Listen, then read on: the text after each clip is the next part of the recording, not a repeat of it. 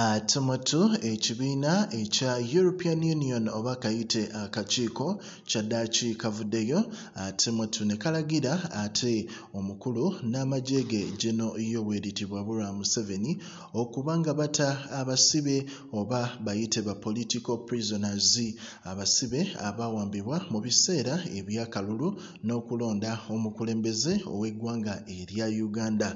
Kino kiddiridde era mwattu akatambi akeeyongedde okusaculatinga ku social media ate ne ku mikutu gimugattabantu egiwererako ddala.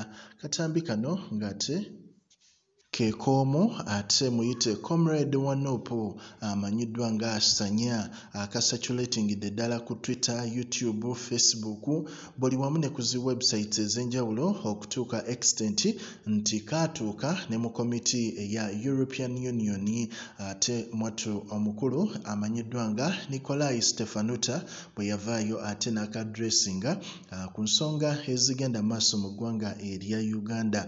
Era mu mbeera eyo baavuddeyo ne bawa ekiragiro ne bagamba nti gavumenti eya Museveni yeetaaga okwatagana ate n'ab'amagye okubaako engeri gye bata abantu abaawambibwa mu kiseera ekyalimu political pressure oba ekiseera eky'okulonda obululu.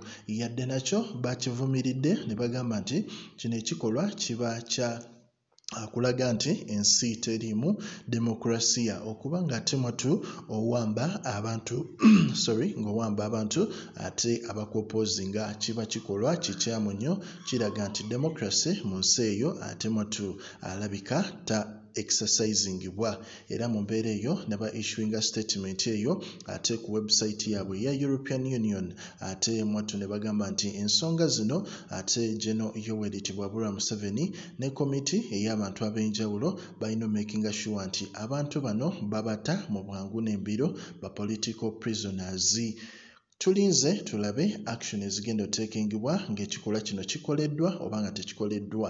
Olw'ensonga nti ffe gavumenti tugimanyi. Naye nga nkujjukiza omukulu Hajji Mukisa eyeewaayo okulumbera eddwa mu nsonga zonna eziba ziganye. Musindikire obubaka ku whatsapp awo ate mwattu ajja kuba akuyamba. Progen media likinga commentinga era osubscribinge